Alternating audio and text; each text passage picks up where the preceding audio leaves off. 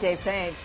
They've been bombarded by complaints by users and lambasted by members of the United States Senate. Tonight, the Facebook website is making big changes to simplify the way you maintain your privacy. Fox News' George Sells is live in the Web Center with all the details. George. Well, Sandy, the message to Facebook from its users was kind of like an old journalism adage, keep it simple, stupid.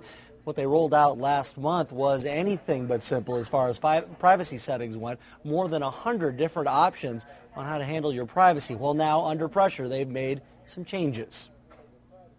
We haven't removed anything in this update. We've just added a simple master switch to control all of your content at once. Privacy settings were complex and most aggravating to users. They made it difficult to stop the site from sharing personal information with third parties. Essentially, they were selling your preferences to advertisers and other websites. Now, the number of settings available to nix that practice has gone from 50 down to fewer than 15.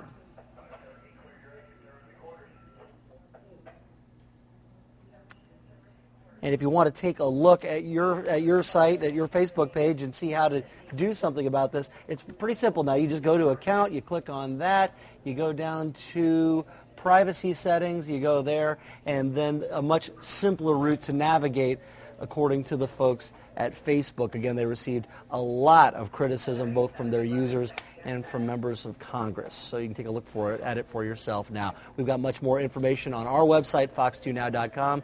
Just click on this story. We're live in the Web Center. George Sells, Fox 2 News.